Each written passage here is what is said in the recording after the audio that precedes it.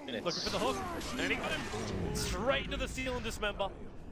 Oh, that corner though. Ah, three and a Mystic Flare's going to drop on the Titan because still got the core against his ulti off. He's thinking about it, but then the, most of them BKB apart from a boss who never actually uses BKB. Hooks off target from Dendi and now ties up the front lines, dishing out a lot of damage, at least Brewmaster. Able to get that split off, but looking funny too.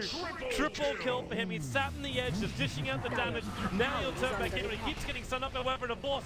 Back into the engagement. In a crime of 10 for assist while Danny is spinning around, but maybe right round. Ultra kill for funn1k. He'll die in the streets, or maybe he won't. He's taking up, he'll turn back in for a there it is. Maybe it's caught. Currently is, and now he kills himself. It's a double rampage to the Blake Bell up, and he attacks him.